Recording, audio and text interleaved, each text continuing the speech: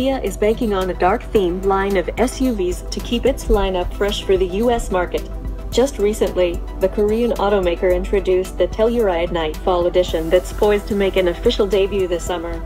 Now, the next Kia to show its dark side has been named, and it's going to be the Sportage Compact Crossover. This is according to order guides discovered by Cars Guide, the same publication that leaked the previous Telluride Nightfall edition before its official announcement. Don't expect mechanical changes in the Sportage Nightfall edition, though. Just like the Telluride, the updates on the crossover will be purely aesthetic, mostly through dark trims and accents on the body. There aren't any official images out yet for the dark Sportage, but you can browse through the Telluride images above to get the idea. Expect piano black front and rear skid plates, bumper garnishes, fog lights, and side moldings, as well as the front grille and the badges, dropping the chrome garnishings. Cars Direct also learned that the Sportage Nightfall Edition will get a panoramic sunroof and solar glass. The 18-inch wheels are expected to come in black as well.